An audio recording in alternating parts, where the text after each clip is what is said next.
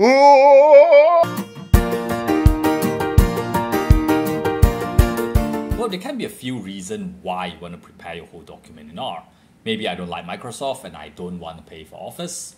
Maybe I don't like the word processor format and because I can't tell the difference between Arial and Calibri and if I include both of them in the same doc, my manuscript will get rejected without knowing why. Uh, maybe referencing is just a nightmare in any kind of word processor software. For example, if you want to change from Harvard to APA, you might have to redo the whole thing. Well, you can pay for a reference manager, but why, why would anyone do that? Right? There can be a few more. So you want to look cool writing on your manuscript in the office well, everything is absolute. There's no more unknown underline. There's no extra spaces between text, and everything is very easily automatable. Um, lastly, maybe you just want to support open source project with donations and bug report, and you want to reject capitalism in your life. So this is how you actually do it. Step one: install R and R Studio just go to the website, go to the website, download the exe file or DMG file, and press next until you get everything installed and the icons show up on your desktop. Step two, cry because you're not sure how to start.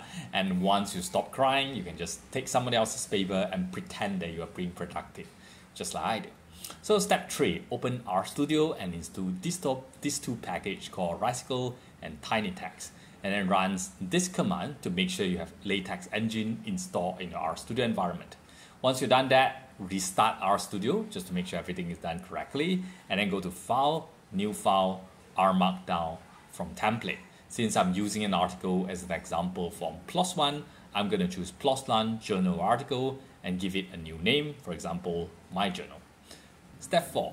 Enter the title, the author, and the author information based on the description, and you can add more if you have more author just by copy pasting the title. If you have not realized that, we don't have to care about the first page. We don't have to care about the bolding, the underline, and typeface. It's that easy. Step 5. Enter the content of your paper.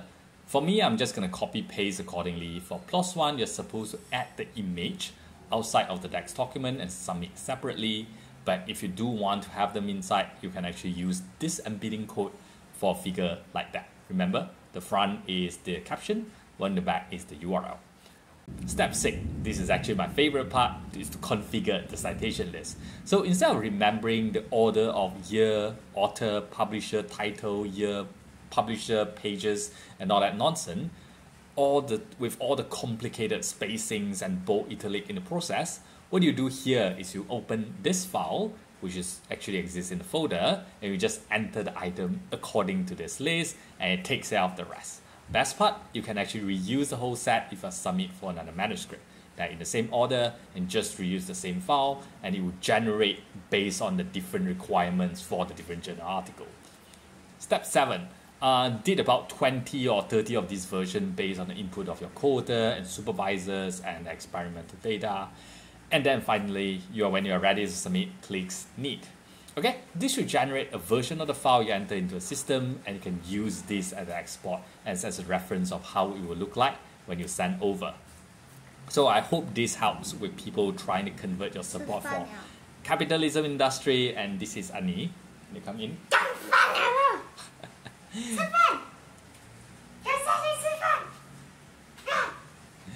So, so I hope this helped you on trying to convert your support for capitalism into an open source community. So be sure to donate some of your money uh, to the developer of TinyTeX as well as R and report any bugs to the creator when you can.